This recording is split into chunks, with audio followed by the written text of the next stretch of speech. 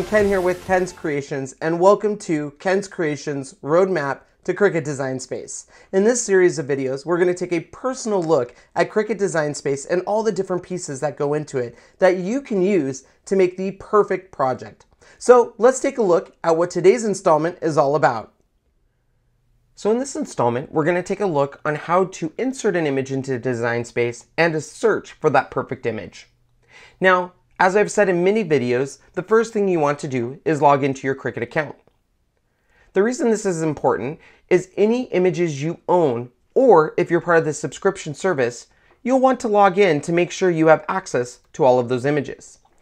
Once you've logged in, it will take you back to the homepage of Design Space. We're going to go ahead and start a new project so we can look for images. Now, on the left-hand side, you're going to see Insert Images. Let's go ahead and click that now. This is going to bring up over 50,000 images in the Cricut library, plus any images you've already uploaded into Design Space. Now Cricut's done a fabulous job on making this an easy way to look for images, and they've added some great features here. The first feature I want to bring your attention to is the size of the thumbnails. As you can see, there is a lot of images on the screen. However, if you want to see those a little bit bigger, and be able to see all the information, over here there is a view larger option. By selecting this, it will go ahead and make your thumbnails larger, which will give you much more detail and easier to read information. I also want to draw your attention to the information bar on all the images. That bar is on the lower part of the image and has a lot of useful information. It's going to let you know if this image has a cost, if it is a free image, if it's an image you purchased, or if it's an image that's part of the subscription service which you might be a part of. The other option it will give you is a little eye. This is going to bring up specific image information. This will let you know the name of the image, the Cricut stock number, it will let you know what cartridge it's from, and it will let you buy that single image. Now there is a way to buy an entire cartridge and we'll show you that in just a minute. Another feature on the information tab is a little printer icon. This will let you know if this is a print and cut image, and this process will require you to print the image on your home computer and then cut it on your Cricut Explorer. Now, when searching for an image, you have a couple of different options. We can either go into the search bar and look up a specific keyword. So if we search teddy bear, that's going to bring up all of the images that have that tag word teddy bear. This also includes any images you've uploaded and assigned a teddy bear keyword. That's why it's so important when you're uploading images into Cricut Design Space that you use the tag option to take all of the keywords that you might think are useful to find that image. So now let's take a look on other ways you can look for images. Underneath categories, Cricut has done an amazing job on giving you some categories to look for images. Under the Feature tab, you have Free this week. Every week, Cricut features a set and makes it free for you to use in Cricut Design Space. You also have a tab for Most Popular. This will go over all the most popular images and cartridges in Design Space. And then my favorite, which is recently added. This will be any new images, digital images, or cartridges that Cricut has recently released. Now, under the categories, this is awesome. They have taken every single image and categorized it based on a tag word. So if you're doing a baby project and you need to know all of the images in Cricut Design Space that are baby, you can select that and this will bring up all of the images that have that tag word baby. Once again, this is why it's so important to give your images those tag words so it will be part of this category. As you can see, it is also given you a little box with baby. This means that now whatever you do within the screen will be baby related. So as you can see now in our search box, it says search in baby. So if I look up girl, it will search for anything to do with the tag words baby and girl and bring up those specific images. Now let's go back to the categories tab. One of the other great things they've done is they've separated by brands.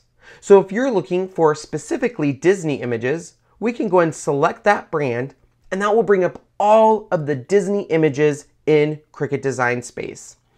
Once again, as you can see, that box is there letting you know you're under the category of Disney Pixar. So if we search in Disney and Pixar, and let's say I search for monster, this is going to bring up any images that are of a monster related on the Disney Pixar cartridges. So obviously it's going to bring up a lot of the Monster Inc. on Best of Pixar. Once again, to get out of this, we're going to click the X and that's going to bring us back to our categories. Now let's take a look at one of my favorite parts of searching for an image, which is cartridge. This is going to bring up all of the cartridges and image sets that Cricut has released. It's in alphabetical order, and it's going to give you a little bit of information. So for example, the Birds on Parade, it's going to show you sampling of any font and images. It's going to let you know how many images are on that cartridge, and it's going to let you know if you've purchased it, if it's a subscription, free, or if you need to buy it.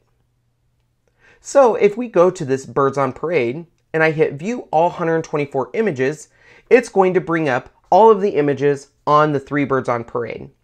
I would like to draw your attention once again that now we are under the category of three birds on parade. So anytime we search within this, it's only going to search that cartridge. So if I look up Christmas, it's going to bring up the images on that cartridge that are Christmas related. So as you can see, there are seven images that relate to Christmas on the three birds on parade. Now if I click that X again, it's going to reset it and go back to my cartridges. Because I still have Christmas up here in the search box, it's going to bring up all of the cartridges that are Christmas related. All I need to do is highlight that, hit my delete button, hit the enter button, and it resets me back. Now, as you can see, as we scroll down, you're going to see all of the different images that you're either subscribed or purchased. Every once in a while, you're going to see here, this all mixed up is $29.99. I do not own this cartridge, so if I want to view the images, I would hit view all 14 images, and it's going to bring up all of the images, and it will give me the option to buy this. I can either buy this as a single image by hitting the I and then buy image, or I can do the buy entire subscription set, which will normally be right here. Once again, I just hit this X and it takes me back to my main cartridge. Now there's one other great way to search for images, and I'm going to go ahead and show you that now. We're going to go back to the all image. As you can see next to the search box, there is a funnel. And this will literally funnel down your images to a specific type. You have it searched by ownership, type, and layers. Ownership is basically who owns that image. Are these my images that I've actually purchased? Images that I've uploaded using the Upload Image tab. Are these free images? Are they images that are part of the subscription? Or images I've literally purchased? So if I was to go to upload, this will bring up all of the images I've uploaded. So this will be where a lot of my SVG images are or images I bought from a third party source. Now if I go back to that funnel and unclick on that, it will go back to my main screen. I can also take a look at all of the images that are part of this subscription service just by clicking that. So this is a great way to categorize and find out where your images are. So if you know you're looking for an image that you don't own, but it's part of the subscription service, you can do that. Now let's take a look at the type. The type is different in the fact that categories is searching by keyword, where type is going to break it down on what type of image it is. You can look at 3D objects, backgrounds and textures, borders, cards and envelopes, frames, phrases, and the most popular, which is printables. And let's take a look at the printables. Printables is going to bring up all of the print then cut images.